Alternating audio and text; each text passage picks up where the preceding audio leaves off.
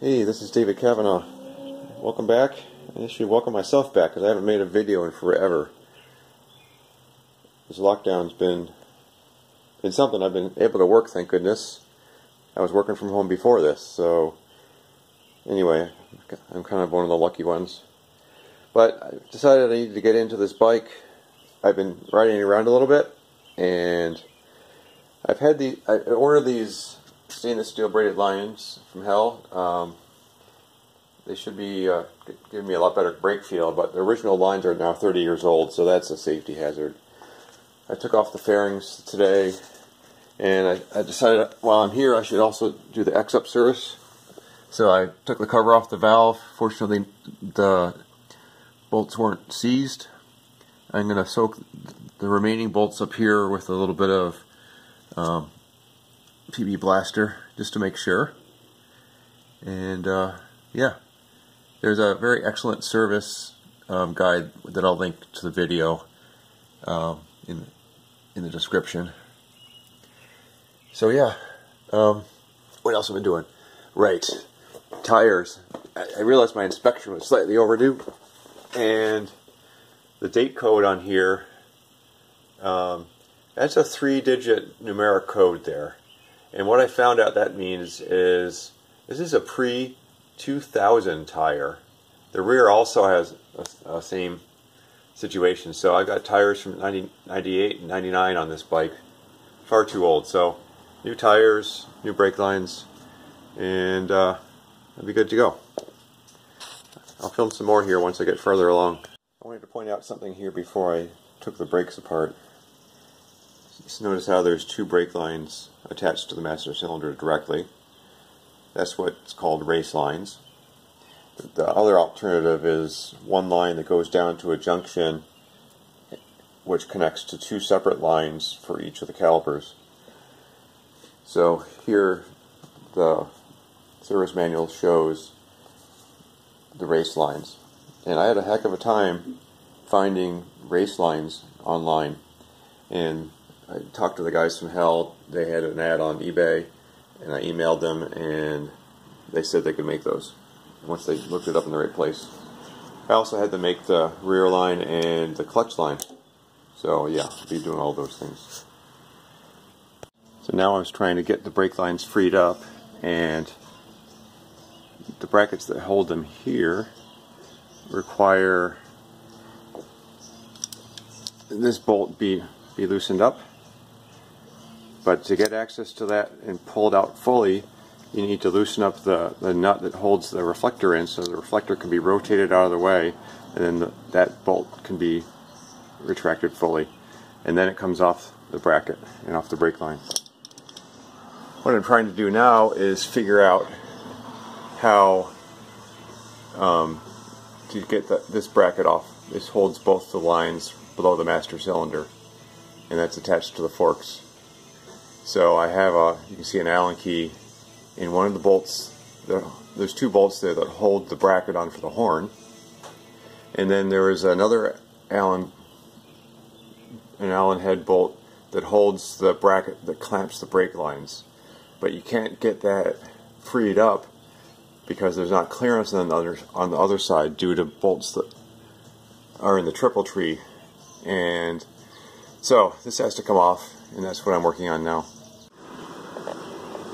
Alright, so once I got those out of there, um, see if I can hold everything with two hands.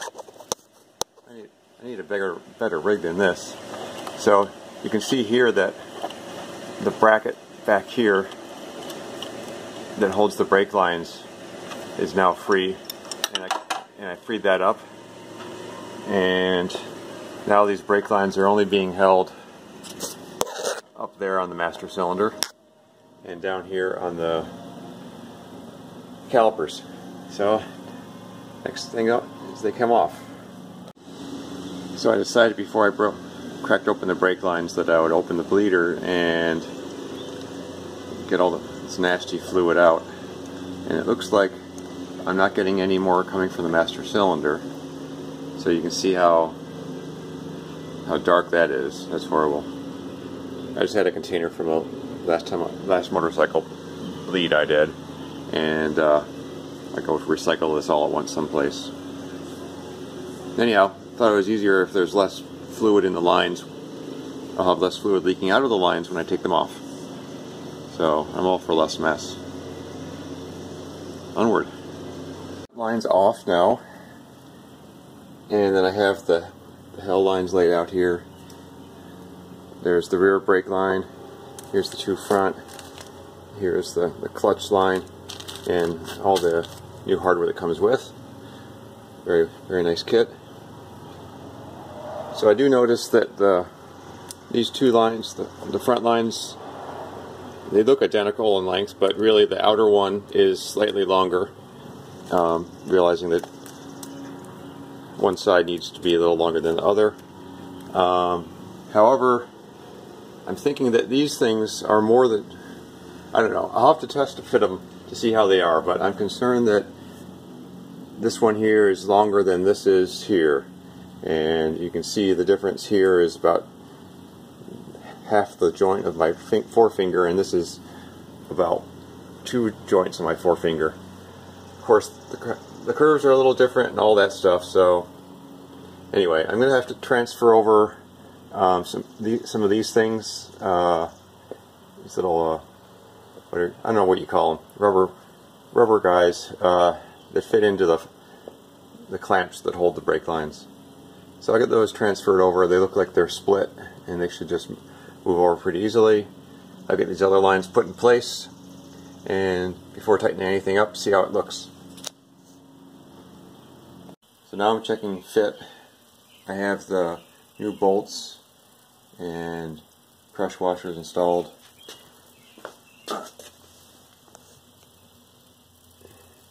and you can see that they go through the I guess you call it a grommet and they aren't particularly tight Let's see if I can do this with one hand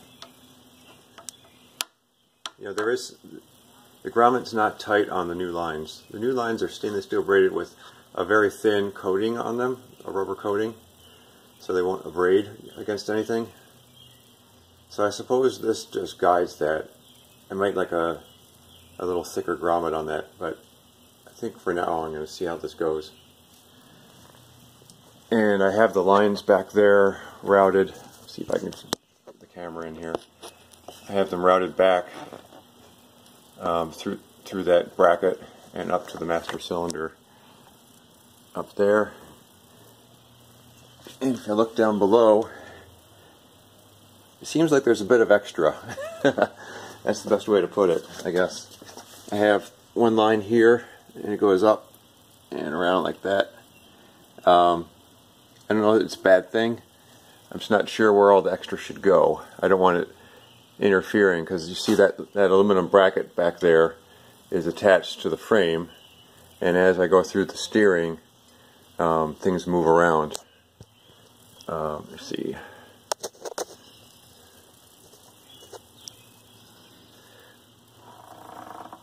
that looks like it's basically okay. At, at full lock, the, the lines are just touching on the on that aluminum bracket in the middle. But I, I don't go full lock very often, and certainly not at speed. so, anyhow. Anyway, I'd love to hear some opinions. And the next step is to get things snugged up and do some bleeding.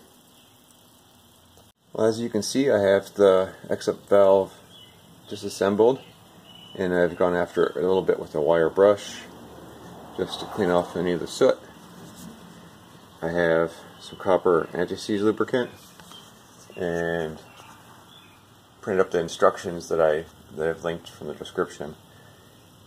So things came apart pretty well. The bike only has 7,700 miles on it, and it's probably a little premature, but I thought, well, this is something that is known to get seized up, so I better stay ahead of this on the maintenance front.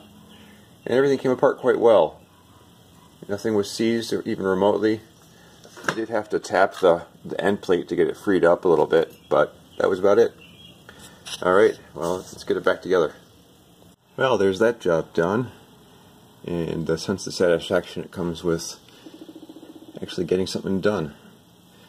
But now, now that I'm down here and looking around, you can see what I'm seeing here, and there is some oil that's coming down from someplace. You know, there might be some gasket issues.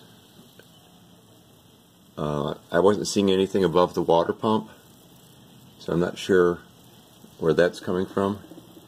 Oops, I'm probably washing that out with my light.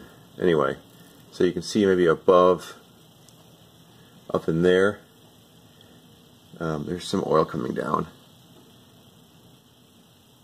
And it may be a little crud underneath the water pump there. And over here, um, I'm seeing some crud as well. But that's where the chain is above there. Maybe that just, you know, chain lube that's creeping down through there.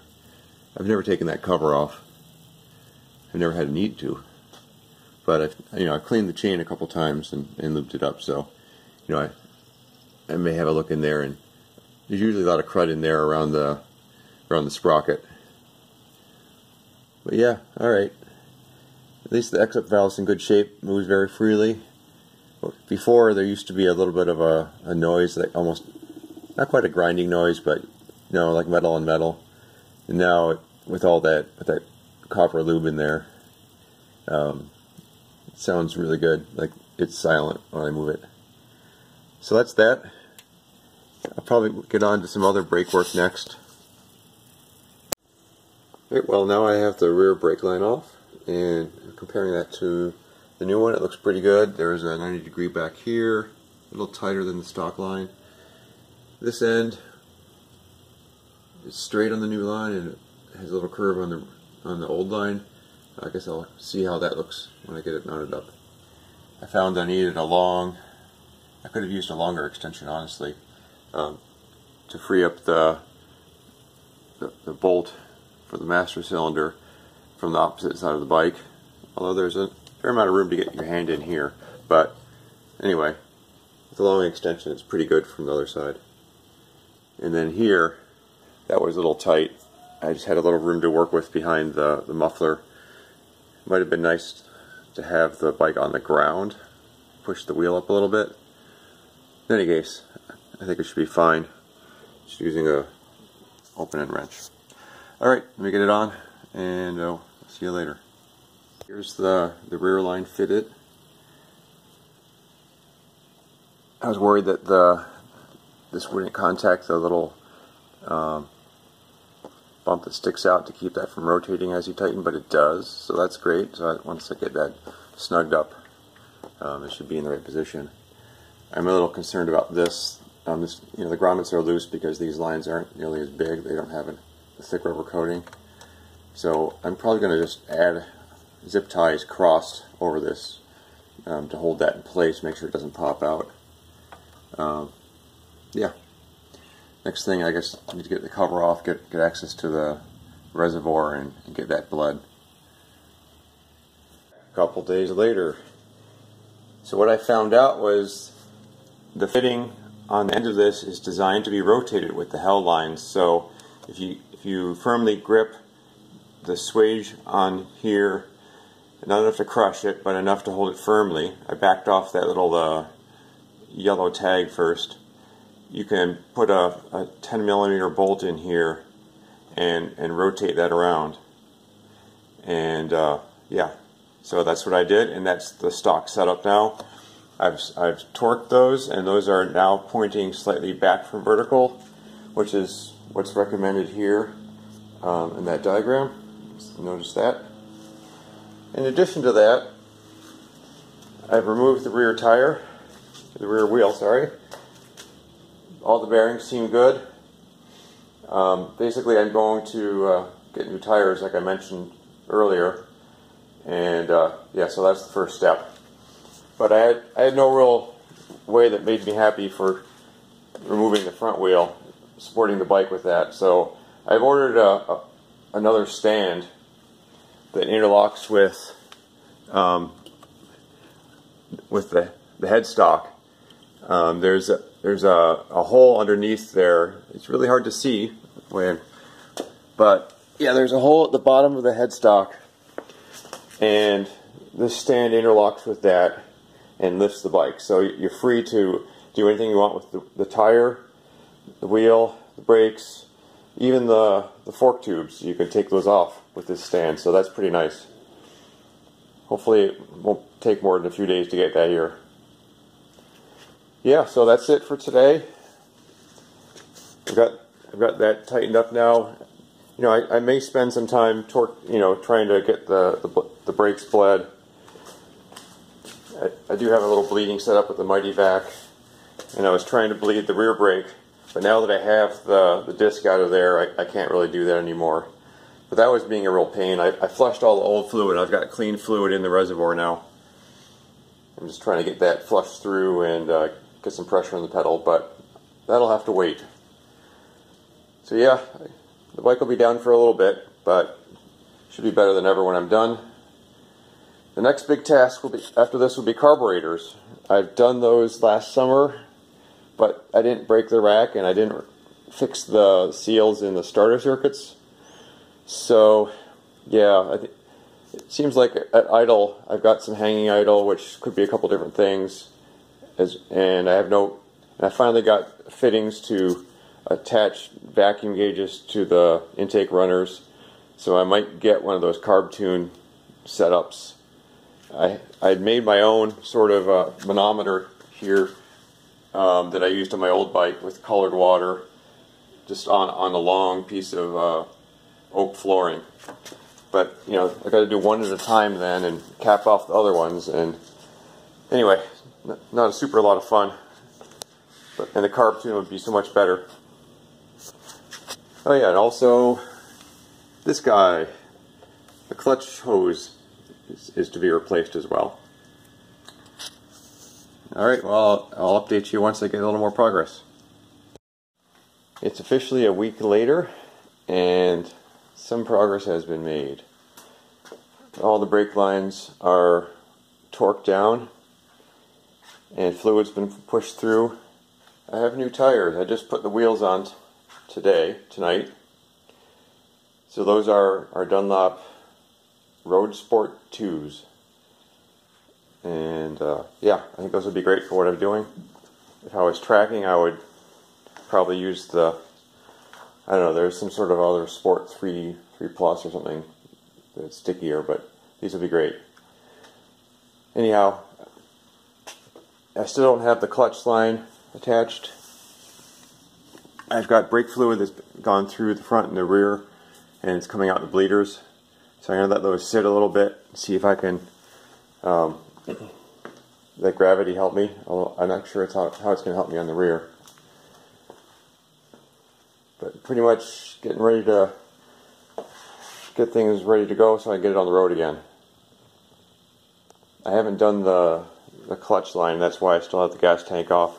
Because the clutch line goes up up here into into the bot the frame I believe and then out through the frame here and up to the, the master cylinder so yeah I gotta loosen up some ties and get that snake through that'll be fun what I'll probably do is get everything loosened up attach the new line to the old line at the banjo with like a zip tie and then start pulling and with, with any luck that'll that'll work out. Alrighty, if you're liking what you're seeing, like and subscribe. I'm to try to up my production values here. And uh, I've done a lot of short segments for this video. And I'm going to try to start doing some time-lapse of actually doing work on the bike next. So let me know what you think. Talk to you later. Alright, so this is where I didn't film as nearly as much as I thought I would. And I just say, cut to the end. Because basically the bike's back together and I'm I rode it tonight. But there's some things I wanted to go over. So namely some tricks about breeding, bleeding the the brake lines and also the new tires are seem to work great. Um, they're really not past the break-in period yet, so I'm not really running them too hard. But I, I did get a, a, a headstand for the front because that's the only way I could get the front tire off. And it came with a variety of um, I don't know what do you call these posts that go into this, um, and, and, that's supposed to go into the the hole in the center of the headstock. Well, so this is the longest, largest one this one comes with, and that's 18 millimeters. Turns out uh, that wasn't large enough, so I ended up kind of rigging this thing up. Um, you can see that that socket's a little bigger, and that has less play within the within the headstock but it's not great. There's a lot of wobble here. Um, this is still not the perfect size. This is where I wish I had a lathe and I could just make exactly what I want. Um, because really what happens with extra play in here is that this this bar does not stay as horizontal as it should and it ended up resting on this a little bit and pushing the horn up which was in the way. But um, that came back down. That's on a rubber mount. Alright, so that, that's the front tire, and nothing really spectacular in the rear, it just came off and went back on normally. The interesting bit was trying to get the, the, the brakes bled, and I found a couple different videos online, I'll see if I can remember which ones they were so I can link to them. It wasn't that hard to get fluid pushed through and, and out and out through the calipers, so every time I, I could I'd give this a few squeezes and then open the bleeder valve and I'd get fluid coming out the tube. Um, that was just fine. The, the problem was getting that last bit of air out. In the front, what I had to do was I had to loosen up this bolt right here. And so I had a rag around here and I loosen this up and then I actually had my wife um, squeeze the handle. And when she did that then I would loosen I'd crack this open a little bit and that's when I saw the the bubbles come out. And it, it wasn't until I got all I did that a few times and got all the bubbles out that I actually got a, a, a firm handle on this and the brakes are, are, uh, work great now. Now in the rear it was a different story. The tip that I found here that worked the best was to remove the caliper. I had this side cover off and I could wire the the caliper up higher because as you can see the brake line is pretty much horizontal or actually going down. So it's really hard to force the bubbles in the direction you want which is really to the bleeder. And there's actually two bleeders on this caliper so I had this thing wired up here and I could tap on the tip another tip was tapping on this with a like the screwdriver handle or something and that just helps encourage bubbles to move along it and basically it was it was kind of up to here where the caliper was. And and so what I could do is after it sat for about half an hour, um, I, I, was able to um, bleed out of both bleeder nipples on, on here and I would get some bubbles coming out. And you know, once I got this one, so, so there was this, the second one, which is farthest away from the, the hose attachment. Once I got that to come through clear, then I focused on this one. And I actually shifted the caliper around a little bit um, so that I got different high spots, and eventually I got a lot more air coming out of there, and then this this got really firm, so that's really good. So those two things really helped me a lot. And while I was at it, I, I shined up the, the Yoshimura slip-on that came with the bike. Just because I got bored and was trying to figure out how to get the brakes going. And Oh yeah, so I didn't actually do the the clutch line.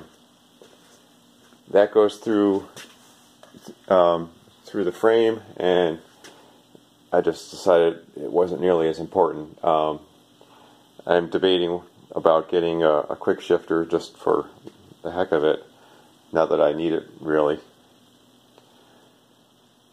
Anyway, it's all back together, and I just wanted to do the one more video to wrap this up. So now I can go get this thing inspected on Saturday. There's a place near me that mounted the tires for me. Um, oh yeah, West Side Cycles. I wanted to give a shout out to those guys. Um, they do a great job. And yeah, so they do like six dollar inspections on Saturday mornings. So I'm gonna run over there on Saturday, and get that taken care of. All right. Well, thanks for watching. Hopefully, I've had some interesting content here, and just leave me a comment. Let me know what you think. Thanks.